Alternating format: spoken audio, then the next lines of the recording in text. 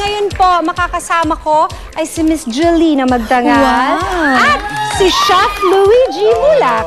Yan, meron silang balitang, napakagandang balitang gustong i-share sa atin. Yes. Go. Chef? So anyway, we're excited to let everyone know that your trusted culinary partner Del Monte Kitchenomics is now back on TV.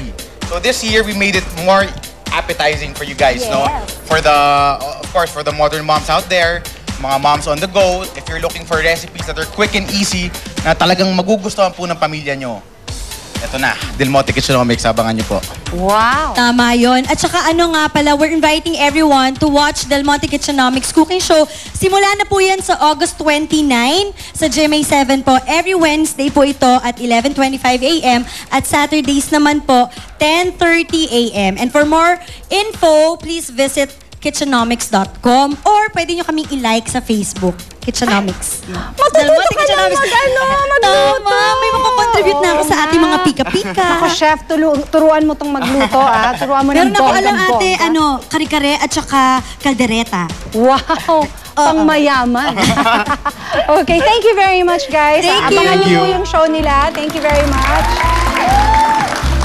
Last week po ay nakilala natin si Dr. Bernal, ang Filipino scientist at doctor na ginamit ang stem cell therapy para sa paggamot ng sariling cancer of the kidney.